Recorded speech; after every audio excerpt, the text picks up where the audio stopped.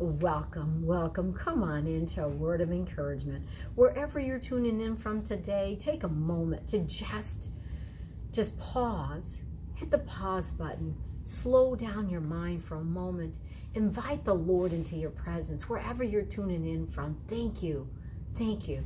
Come on in and ask him to just meet you where you're at. And let's just pray together. Heavenly Father, I praise you, I bless you, and I thank you.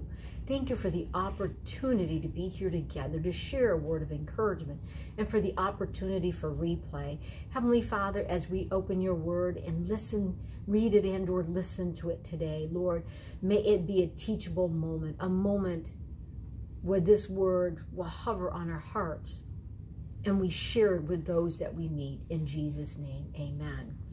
So I never like to start my broadcast without saying what I'm grateful for.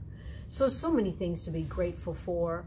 Um, have the week off, so definitely grateful for that. Just looking for an opportunity to recharge from this long uh, 2020 and a year that brought a lot of opportunity for learning, a lot of tests and tribulations, but a time to grow with the Lord and closer to the Lord, and so many ways to meet the Lord uh, that we never thought of before. This all explosive way to get on all this technology and share a word with one another when we when we can't be with one another. We still can share the word of the Lord. So very grateful for that. Today, I had morning prayer. Was day four of celebrating the 12 days of Christmas. So very uh, grateful to be a part of that also went for an early morning walk did not get in my entire time that I normally walk, but it's okay. I got home safe. The roads were extremely, extremely icy, and that's why I had a shorter walk than normal, but was grateful to get back home because once I got away from the house, it was pretty slick out there, but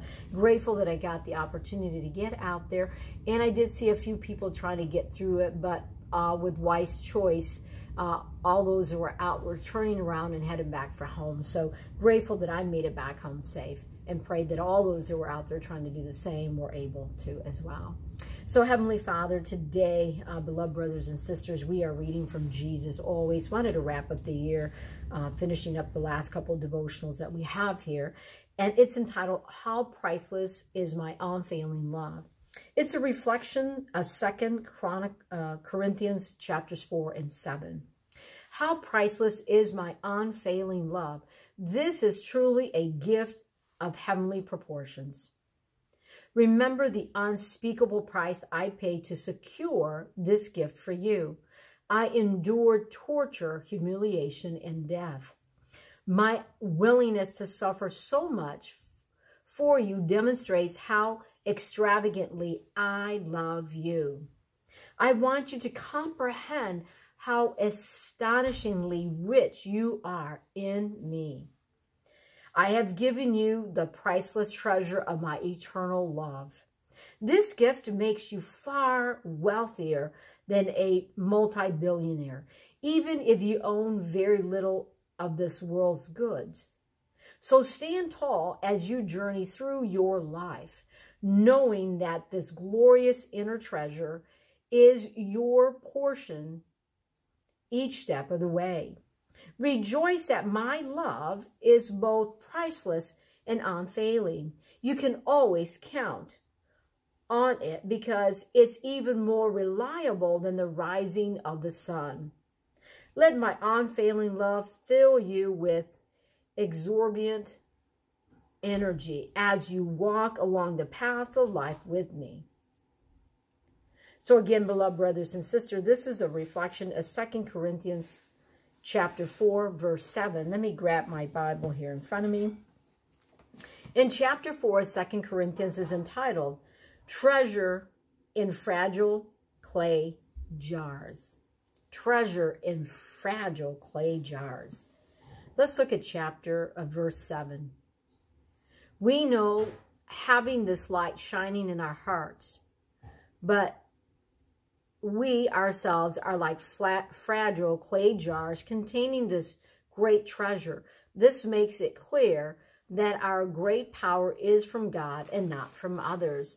So what this passage is sharing with us today is the supremely the supremely valuable message of salvation of Jesus Christ has been entrusted to us beloved brothers and sisters by God.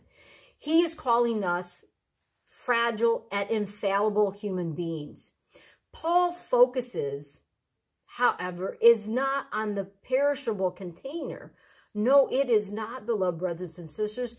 It is its priceless content. God's power dwelling in us. God's power dwelling in us. That is what Paul is focusing in on. Though we are shown here to be fragile clay pots, God uses us to spread his word, his news, his good news, and gives us power to do his work. So I invite you, beloved brothers and sisters, a simple act of love that you can do to spread God's word is to simply share the broadcast of words of encouragement that you come across. Share it on your timeline. You just don't know whose life you are impacting in a positive way by doing that.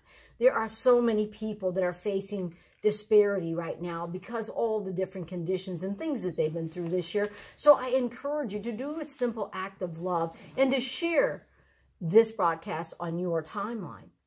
Encourage people to view the light that you are seeing and be a light for someone else as well. Take this teaching and what you learn and inspire others by God's word. Open the good word today and spend time with the Lord.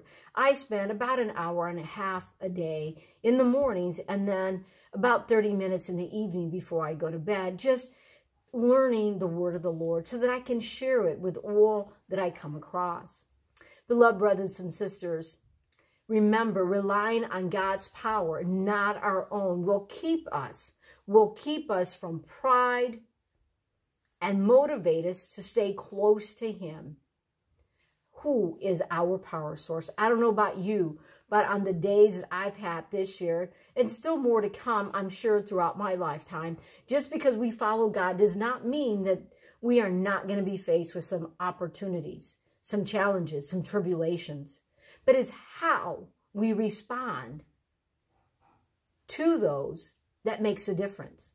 Let people want to understand why is that person unshakable? Why is that individual unshakable? What makes their foundation so strong? What anchors that person for you, my beloved brothers and sisters? It is God. And as I go through challenges, I want to be asked, what, why is your light still shining when you go through different challenges in life? It's simply because I anchor myself on God. God is my anchor. He is my tower. He is my source of power and nothing else, beloved brothers and sisters. Nothing else but God. Let all that see us, that meet us, want to get to know God just because of how we show, how we handle our trials and our tribulations, because we use and we spend our time with the Lord and letting him guide us through those tough times. This year's been tough for so many.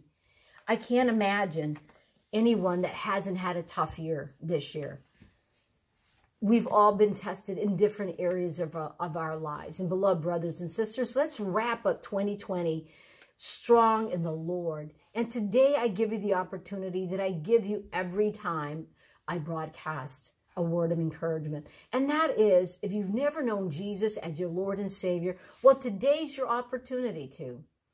All you have to do is repeat after me. And oh, by the way, if you've backslided in any, you know, throughout this year or you've you've it's you've been away from your from your faith from God for some time, that's okay.